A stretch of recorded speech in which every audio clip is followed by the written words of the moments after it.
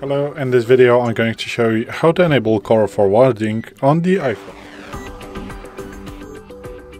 So today in front of me is the iPhone 12 with the iOS 17.5.1 but it really doesn't matter which iPhone you have or which version of the iOS you have, it is all going to work the same on every iPhone. So what you want to do is to open settings, then you want to swipe down, tap on the phone, then you want to go to the call forwarding, so swipe down and search, oh sorry.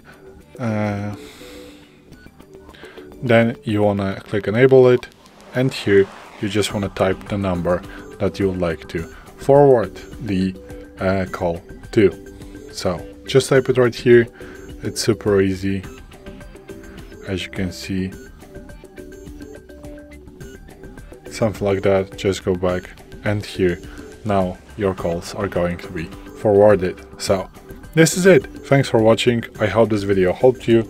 If it did, please leave a like and consider to subscribe to our channel. Bye.